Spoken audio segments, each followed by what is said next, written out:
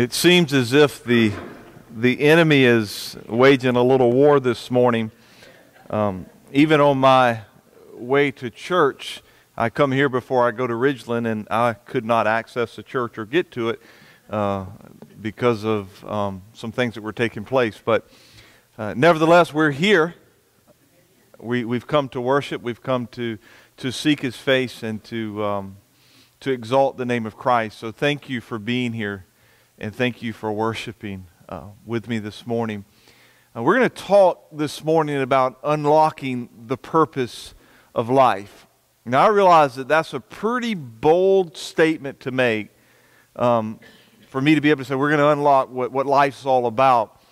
But, but I really believe that we are. And uh, we're going to end up in James 4, but I just preached this message and I decided that for you, I want to start off in John and then we'll come back to James. So go ahead and, and open your Bibles and turn to the Gospel of John.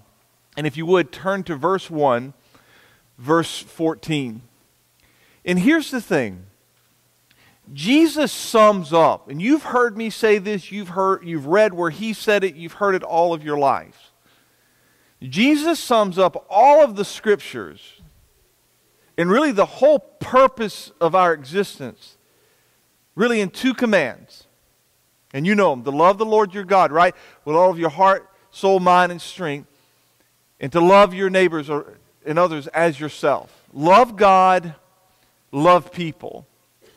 And the argument that, that I want to make this morning from Scripture as we enter into the Christmas season, and you probably wouldn't have thought of using James 4 as a passage or a few passages of Scripture as you think about Christmas, but I think it's really important because when we get there, we're going to talk about the busyness of life, and we're going to talk about the craziness of just the hustle and bustle of, of life and never slowing down and never connecting with one another and never valuing the time and the relationships that we have with one another.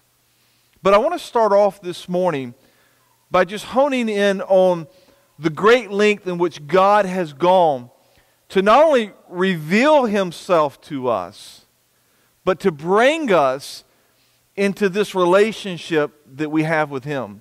Because here's one of the things that, that I believe with all of my heart is that we have not fully wrapped our minds around all that was lost in the Garden of Eden meaning our walk and our relationship with Jesus and also our relationship with one another. And as we gather this Lord's Day in God's house to worship together, my prayer is that God would just speak to our hearts to give us a glimpse of what He's doing and where we're going and in essence, kind of bring heaven down to earth this morning as we seek His kingdom and His will to be done in, in our hearts and our lives as we seek His face. So I want to start off with John 14 as we think about the Advent. We think about God revealing Himself to humanity. John 1, verse 14. Matter of fact, there was a Christmas tree lighting in Hardeeville this, this past Wednesday. I had an opportunity to speak briefly um, and, and this is the very verse that, that I spoke or, or talked about just for a few moments. It says, The Word became flesh and He dwelt among us. We beheld His glory, the glory as the only begotten of the Father, full of grace and truth. Now, there, there's three things that stick out to me, three observations that I just want to make mention of. There's no way that I'm going to give all three of these things justice. But I, I, I, want to, to just share these with you briefly as we think about our walk with God and, and, and how important it is. We think about the Advent, we think about God revealing Himself to us, and then where we end up in our reading and sermon this morning looking at James 4. So the Word became flesh. Jesus, the second person of the Godhead, is the Word. Literally, he, he's, he's the very Word. The Word was in the beginning with God. He was God. John will say all of that right in the opening of this gospel. Colossians says that he was, was, was there in the beginning during creation. So when God said, Let there be light, that very word that was spoken, Jesus was there. He created, he spoke into existence. Now understand we can talk about the, the Trinity, and, and, we're not going to talk much about that this morning. And, and I realize that's a very uh, a deep subject, but it's a very real subject. God has revealed himself to us in three distinct persons the Father, Son, and the Holy Spirit. Jesus, being the Word, is ultimately the supreme revelation of God. You know, you think about being able to know someone, and this, relate, this, this sermon really is all about relationships. When you think about getting to know someone, it's one thing to, to see their outer appearance. It's, it's one thing to, to see them walk by or see them on television. But when they speak, or you're able to hold a conversation with them and their words are spoken to you. It, it, changes everything because you get to know them on a very deep level. And I want you to think just for a moment of what God, as far as the great length He's gone in our redemption process, because it says that the Word became flesh. I mean, if, if Jesus would have never revealed himself, if he would have never became a babe in a manger, if he'd have never taken on flesh, if the, the, incarnate of God, of, of him becoming man, if that would have never happened, if you were to take your Bibles and rip out all of the New Testament, and we'd have never had the testimony and the historical facts of, of his life and, and the things that he said and the life that he lived and the miracles that he had done and literally the cross and the resurrection, how much less would we know about God? And the answer is a lot. But yet, because he revealed himself, the Word becoming flesh, it changes everything.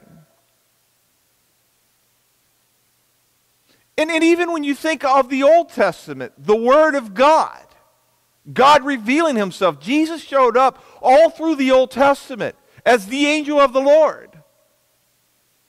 And if he would have never revealed himself, and so let's just back it up even more and say, hey, you don't even have a Bible now. There's nothing but creation. Yes, God speaks through creation to the point he says you can't look at the, the stars, the heavens, and the earth and not know that there's not a God. But he has not only spoken through creation, he has spoken through his word, through the prophets, of old. And he has most importantly spoken through his Son, Jesus Christ, in revealing himself to us. So Jesus Christ is the supreme revelation of God. The unknowable has become knowable. We're going to see that the unapproachable has become approachable because of Jesus. So the Word became flesh, literally vulnerable, and He dwelt among us. The word dwelt, the Greek word that's used there, literally means where we the word tabernacle. You think of the Old Testament, you think of the tabernacle of God he would come, he would tabernacle, he would dwell with his people. God would manifest his presence over the tabernacle, over the temple. No one could just go into the presence of God, only the high priest once a year, and even that, he was going in there with blood. Why? Because God's holy and He's, he's righteous, and he, you just can't just approach Him. And, and when you think about this passage in John uh, 1:14 what God is doing is not only revealing to us who he is but Jesus is the go-betweener between sinful man and a holy righteous God. And so the Word became flesh and tabernacled among us, meaning that He took on flesh.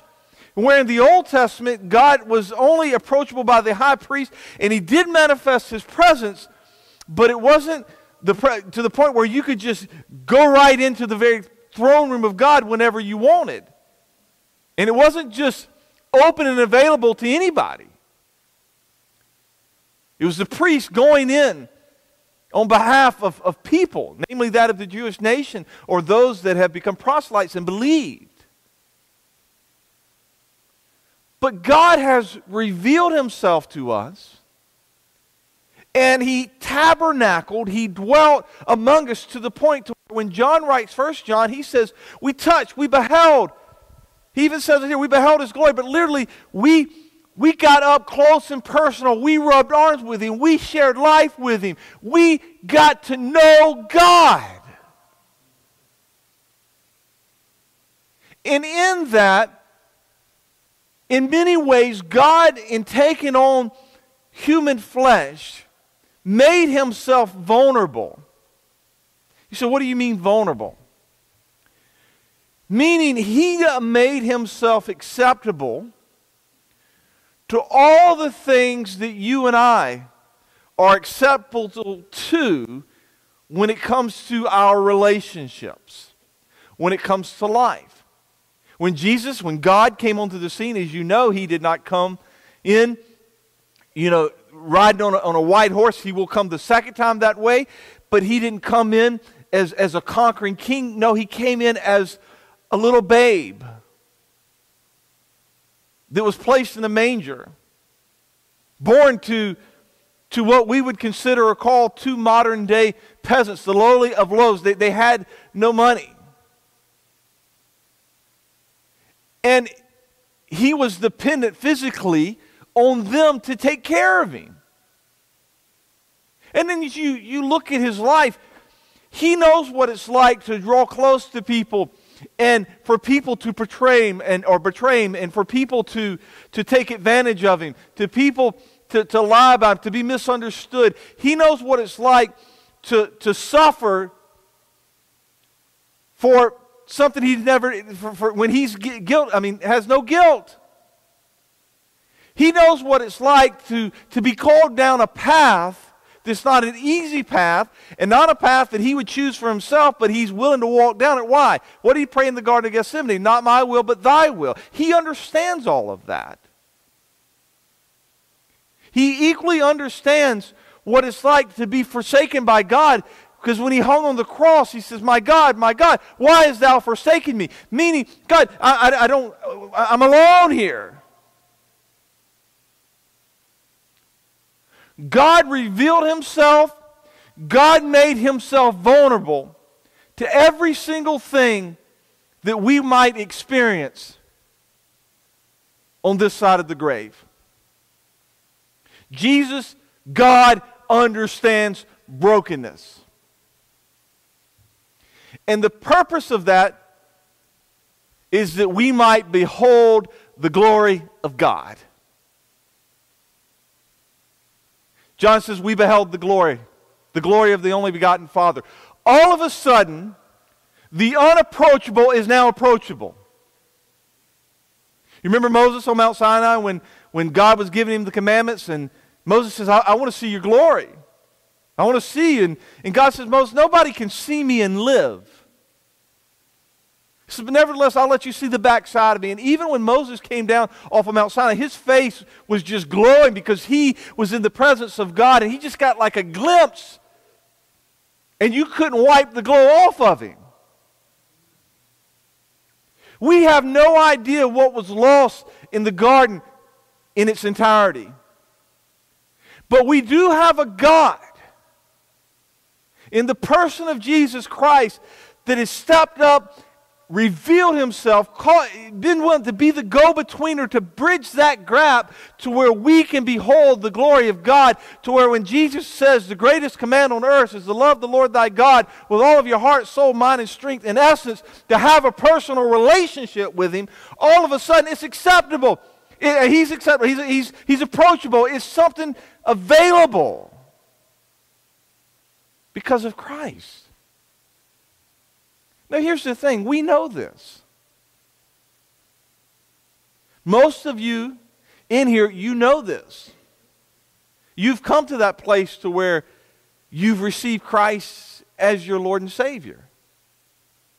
And you're like, yes, there, there's nothing more important than my walk with Jesus. And I am so thankful that I don't have to go to Kevin or a church or a priest or anything else to meet with God because I have the great high priest and it's the go betweener, my go between, my all in all, it's Jesus. So as we prepare for Christmas, and as we deal with the craziness that we find ourselves in, and we've been here for a while,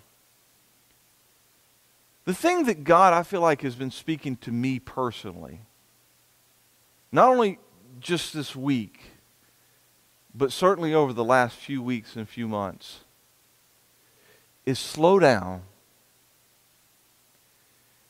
and get back to what life's about loving me and loving one another. Jesus revealed God because he was God. He was vulnerable. And in his vulnerability, he brought the glory of God to those that receive and would believe. Now go to James. We have a funeral service this morning or this afternoon after lunch following this service, um, a good friend, uh, a church member. Matter of fact, he was very active in our Ridgeland, I mean, campus, part of our Thursday night Bible study. Got a phone call Thursday morning. Just dropped down. Lord took him home just like that and then having to, to deal with the, the reality of that and the aftermath of that is tough. Some of you, you, your pain of the loss of loved ones that you faced over the last year is really raw. And here's the thing that God's been showing me over and over again your relationships with one another matter. I'm thankful for the Billy Grahams of the world that get up in front of the multitudes and they proclaim the gospel of Jesus Christ. God uses that. But I want you to know that it's not the Billy Grahams of the world that turned the world upside downwards for Jesus. It's the average folks like yourself. God has designed the gospel to go from one person to the next through interpersonal relationships. And it's not the fame or the glory or the platforms that any of us should look for in the church or even in the workplace. It should be genuine relationships that we may tell people about this personal relationship that we have with God, period. James says, Come. Come now, you who say, Today or tomorrow we'll go to such and such city, we'll spend a year there, we'll buy, we'll sell, we'll, we'll make a profit. A lot of assumption there whereas you do not know what will happen tomorrow. For what is your life? It is even but a vapor. Uh, it appears for a little time and then it vanishes away. Here today and, and gone tomorrow.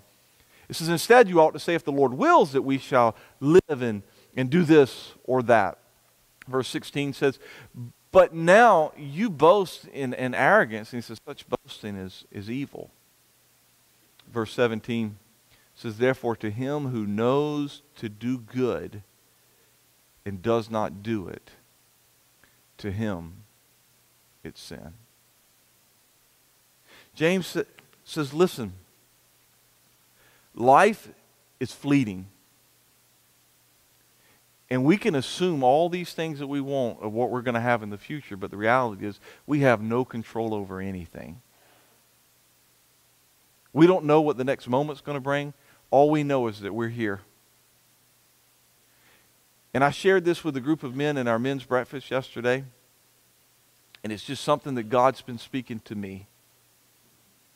For so long in my life, it has been all about the process, all about where we're going, all about the next thing. and not about cherishing the relationships that I have right now. You think about the command to love God with everything you've got and love people as yourself. We will not love people if we do not slow down and make people our focus. There's always going to be somewhere to go. There's always going to be something else to do. There's always going to be things. But how do we expect to make a difference for the kingdom of God and even understand the purpose of life and the rhyme and reason of life if we don't value one another? I think about my friend that just, just lost his life this week. Many of you know it. Every Thursday night, we, we would have a Bible study, and, and in that, that study, we would, would meet, and these guys would hang around for another 30 to 45 minutes after service. 99% of the time, I would hang around for about five minutes, and I had to go because there's always something more to do.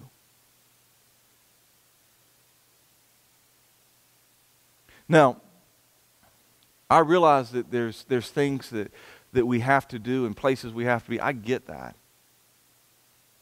But we have allowed the enemy to blind us in the thing we call rat, the rat race of life. And we've let the pendulum swing from one extreme to the other. And here's, here's what I mean by that. Is in one sense, we're just go, go, go, go, go, go, go. And then in the second extreme, it's like fear, fear, fear, fear, fear. And let's isolate ourselves for a couple reasons. One, let's isolate ourselves because of what may happen. May we catch something. May we not catch something. You know what? I get it, and I understand that we should show precautions and all of those things. I am there with you. I, I get it. But we cannot quit living. And we cannot quit sharing life and valuing one another. And the other reason we, we isolate ourselves is because we don't want to get hurt. And so you think about life. We went from rat race to no life to rat race to just isolating ourselves, back to rat, rat race, back to isolating ourselves and avoiding one another, not slowing down and truly valuing one another. Having patience with one another. Being a good forgetter. Listen, I was prepared to preach this message, and, and literally at 8.45 this morning, I was dealing with a very nasty attitude from someone that, that should have never had it. And, and I'm like, practice what you preach. Practice what you preach.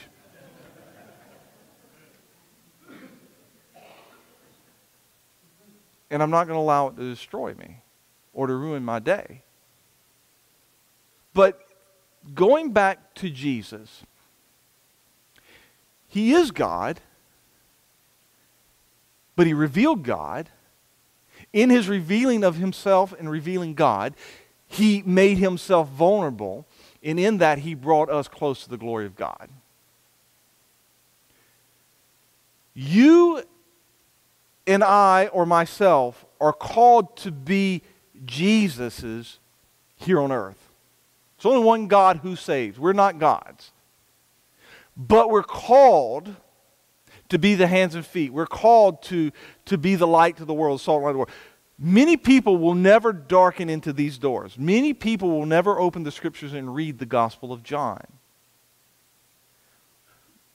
But yet, do not forget that God has given us a mandate to take the gospel to the world.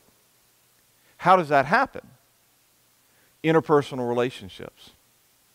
Meaning, that we will be the ones that will reveal God to people through our relationships. And the only way that's going to happen is we got to slow down. We got to make ourselves really vulnerable. And in that, for the hope of people seeing and getting a glimpse of the glory of God that's resting upon our lives, that the gospel message may go forth. Last night, I had an opportunity to, and it was an opportunity, I, I had to go to the store because my little one had a cough and he's fine, but he's just, just a cold or something. And I said, well, let's go get some medicine for him. And I, I invited my 10-year-old. Well, he, I didn't invite He said, I'm riding with you. I'm like, okay. And so him and I were, were riding to Publix. And as we were riding together, I just glimpsed and I noticed over. It was just like it was. I mean, he. I mean, it was like he was at a theme park.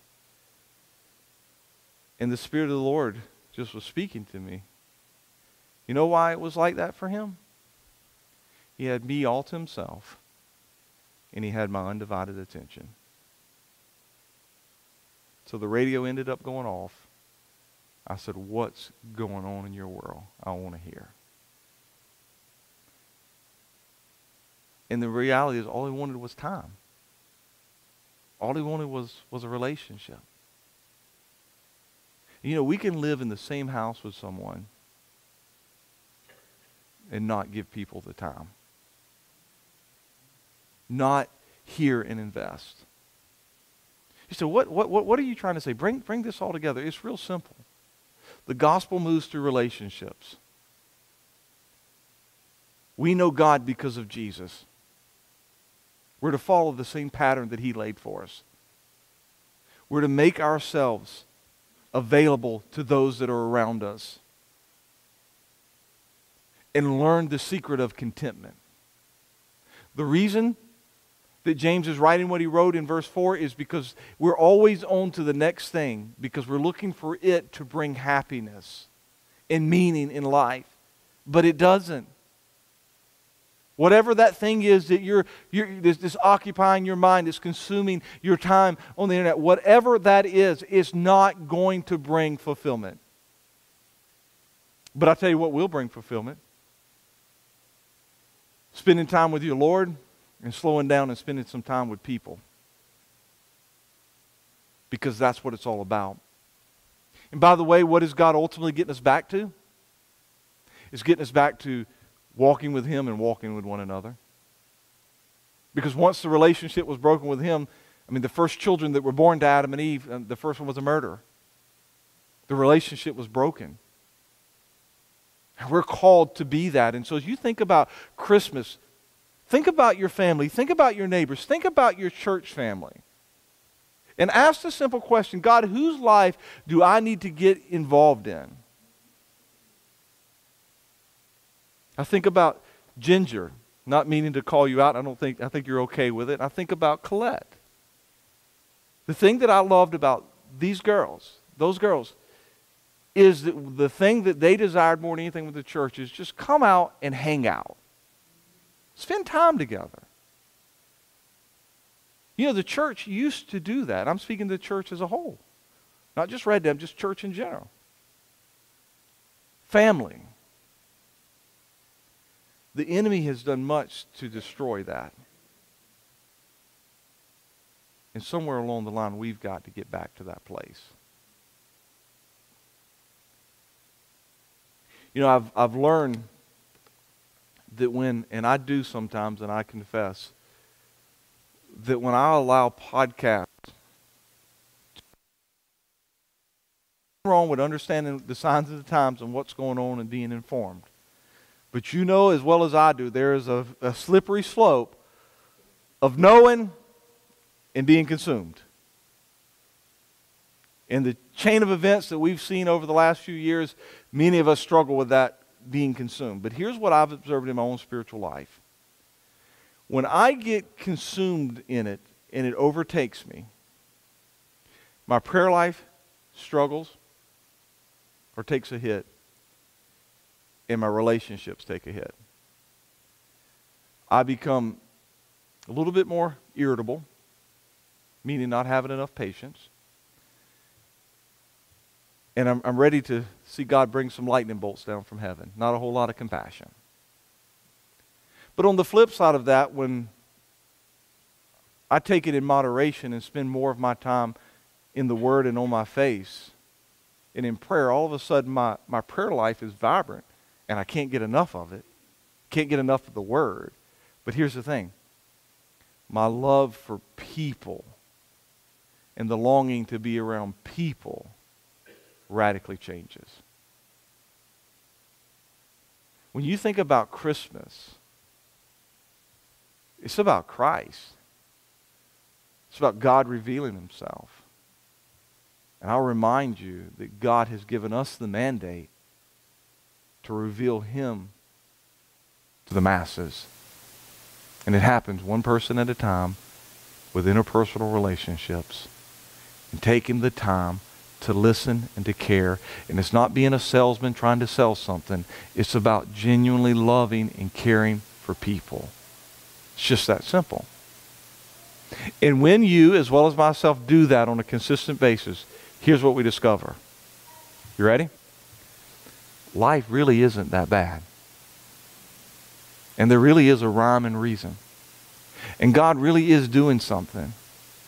And then all of a sudden, the scales get removed from your eyes, and you begin to see God at work all around you. I'm tired of being just in the fast lane.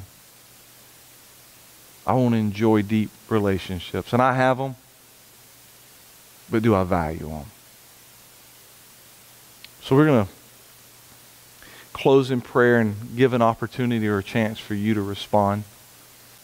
Fathers, we just thank you for, for your people. We thank you for uh, the church. We thank you for, for who you are.